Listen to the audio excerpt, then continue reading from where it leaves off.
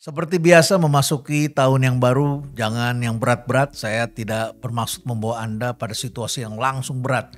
Inilah resolusi tahun 2023 yang perlu dipikirkan dan direnungkan oleh kaum muda. Apalagi kita akan memasuki menurut kalender lunar ini adalah tahun kelinci air.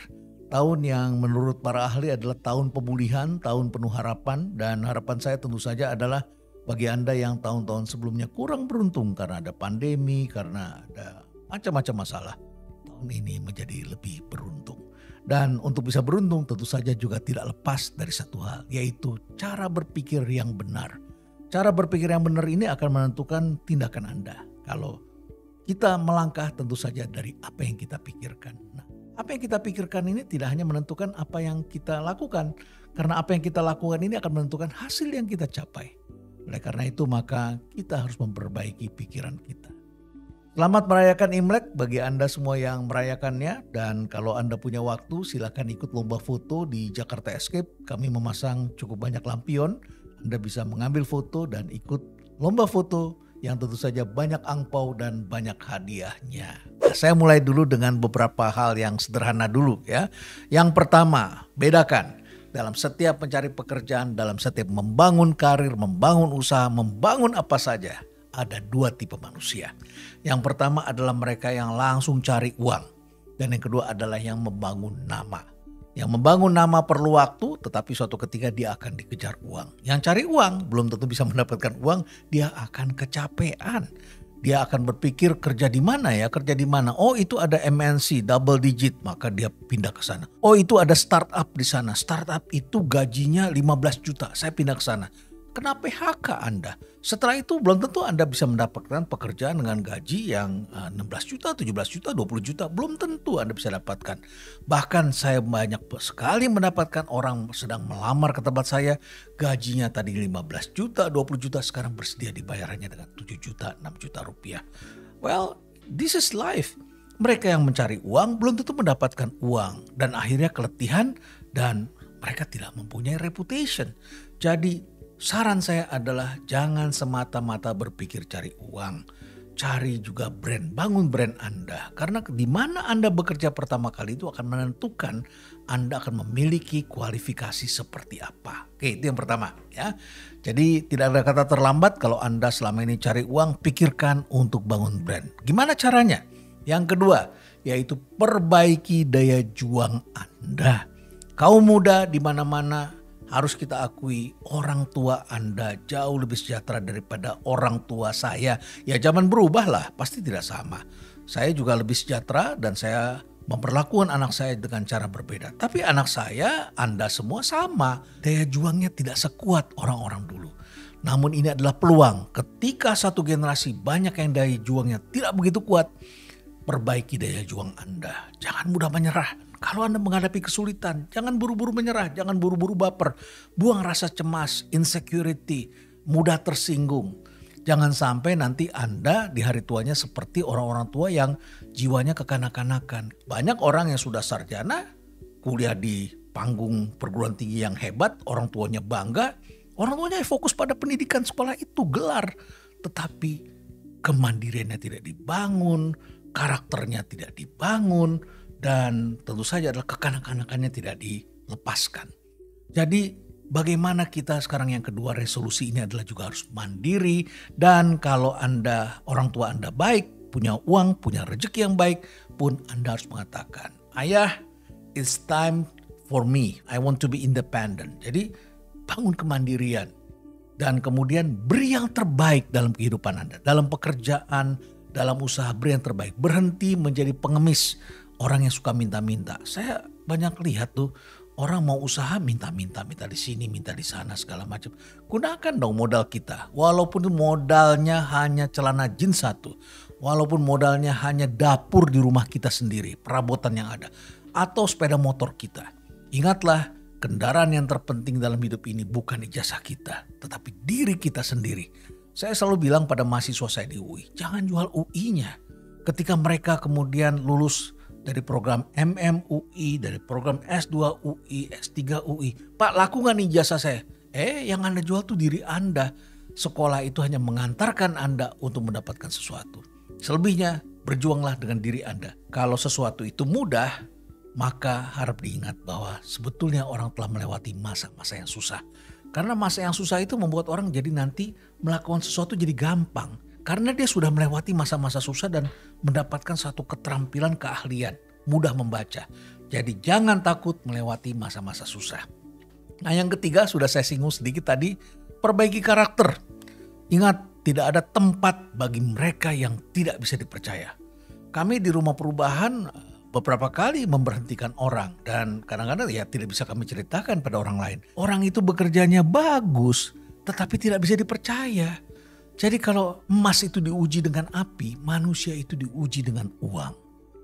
Walaupun uangnya hanya sedikit, hanya 100 ribu rupiah, tetapi tidak bisa dipercaya. Bagaimana kami bisa percaya uang yang satu juta, yang 5 juta, yang 10 juta, yang 100 ribu saja dikorupsi, yang 100 ribu saja dipersoalkan. Jadi perbaiki karakter. Orang tua ingin anaknya sukses, perbaiki karakter anak Anda. Karena banyak juga orang tua yang karakternya tidak bisa dipercaya.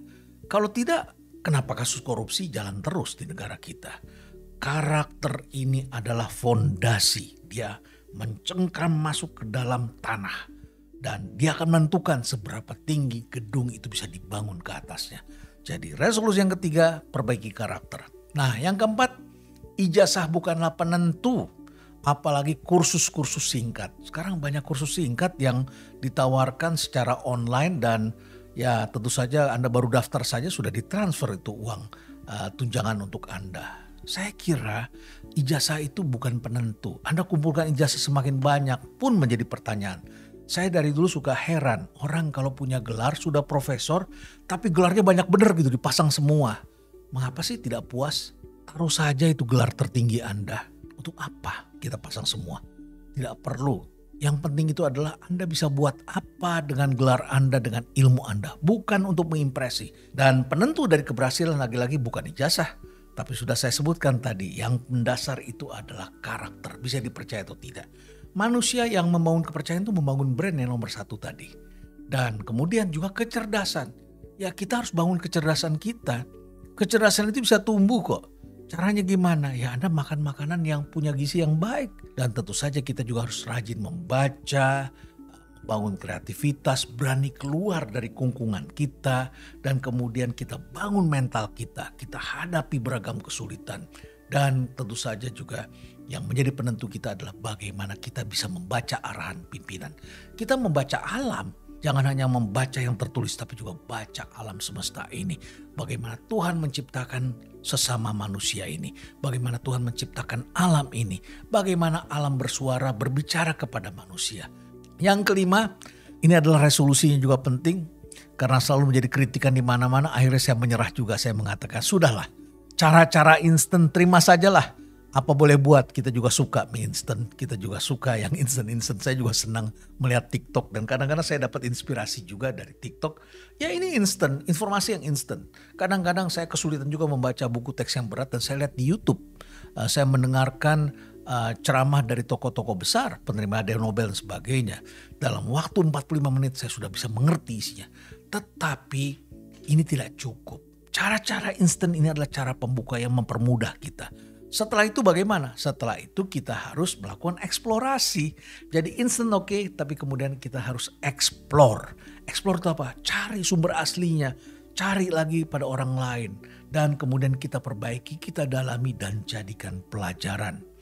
Bila tidak berhasil dalam melakukan sesuatu atau membaca sesuatu dari cara yang instan, jangan diamkan dan sering kali orang-orang seperti ini ketika mendengarkan nasihat dari orang lain mengatakan, sudah pak, sudah saya ikuti arahan bapak, nggak berhasil juga itu berarti bapak salah saran-sarannya. Oh tidak begitu. Setiap saran itu pasti dilakukan dengan cara yang berbeda oleh orang yang berbeda. Lantas bagaimana dong kalau kita sudah jalankan dan belum berhasil? Ubahlah sesuatu. Ubah apa saja. Kalau kita buka warung ya tiba-tiba kita lihat lampunya sudah redup Kenapa sih toko di sana laku? Oh lampunya lebih terang. Oh di sana dikasih musik. Oh di sana produknya displaynya lebih menarik. Yang jaga lebih cantik. Orangnya lebih ramah. Tempat parkirnya lebih lebar. Pintunya lebih terbuka.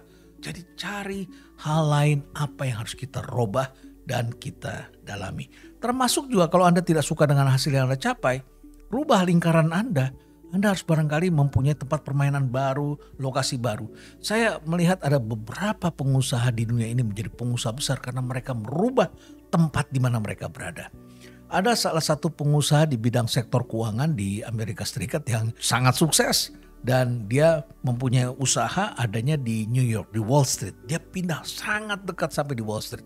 Tapi setelah uh, itu dia memerlukan sumber dana yang lebih besar. Dia pengen mengelola uang dari orang-orang yang paling kaya di dunia. Ke mana mereka harus pergi? Akhirnya dia pindah ke satu tempat namanya Palm Beach. Di situ ternyata banyak orang Yahudi kaya, banyak orang-orang yang punya uang yang cukup besar dan para pensiunan. Dan untuk itu maka dia harus ikut main golf di tempat itu. Dia mempunyai satu tempat dan dia harus menjadi donatur di situ.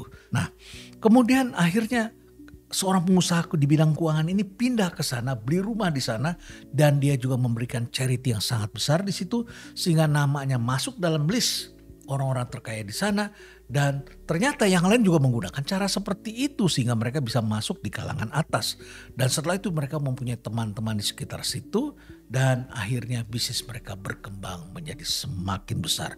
Jadi kesimpulannya kalau Anda tidak suka dengan hasil yang Anda capai, ubah siapa yang menjadi teman-teman ubah lingkaranmu. Barangkali di situ engkau akan melihat sesuatu yang baru. Tapi pilih jangan biarkan dirimu hanyut. Yang keenam, jangan terlalu percaya juga pada filter-filter yang ada di sekitar Anda. Sebetulnya ngambil PhD itu ilmunya cuma singkat saja. Namanya validity dan reliability. Kita selalu harus menguji kebenaran. Dan untuk menguji kebenaran itu memang kita harus gunakan panca indera kita. Jangan terlalu percaya pada satu telinga, pada dua telinga. Kita diberikan dua telinga untuk mendengarkan lebih banyak. Dan tentu saja kita harus mengecek kebenaran di sini dengan pada tempat yang lain. Dan kemudian kita juga harus membaca, kita diberikan dua mata. Jadi kita membaca, sini ini benar apa tidak, kita telusurin lagi di tempat yang lain. Dan sering kali kita banyak terima kiriman pesan yang Begitu kita lihat ini populer sekali, tapi kemudian kita sebarkan pada orang lain, tapi kita tidak cek kebenarannya. Sehingga orang yang menerima kemudian mengatakan, loh si bapak ini orangnya tidak valid ya, menyampaikan informasi yang salah. Betapa rendahnya diri kita, kita tidak membangun reputasi, kita tidak membangun brand. Orang yang membangun brand selalu menjaga validity dan reliability. Jadi ambillah orang-orang yang bisa memberikan informasi yang valid dan Pilih orang-orang yang benar-benar termotivasi dan mau maju. Yang terakhir tidak bisa kita hindari hati-hati terhadap global economic recession yang sudah disampaikan oleh para ahli.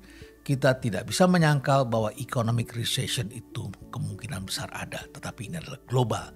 Dan global economic recession pasti akan berdampak. Saja jangan sampai dampaknya itu kemudian menjadi trust recession. Trust recession belum datang Anda sudah percaya dan Anda mengurung diri dan akhirnya bisnis Anda benar-benar mati. Tetapi dengan adanya global economic recession ini harus menjadi motivasi bagi kita bekerja lebih keras. Ingat ketika terjadi resesi dalam skala yang sangat besar, maka orang-orang yang terpandang yang kuat yang tidak waspada pun bisa menjadi pecundang. Ingat orang-orang seperti Madoff yang pernah dipuja-puji di Wall Street dianggap berhasil, tetapi kemudian diketahui bahwa ia melakukan penyimpangan ketika terjadi economic recession. Di Amerika Serikat sebelum-sebelumnya dia adalah tokoh yang dianggap penentu pasar. Jadi kalau saham tertentu dia beli itu harganya akan naik. Saham tertentu dia lepas harganya akan turun. Jadi orang menganggap dia itu adalah penentu pasar.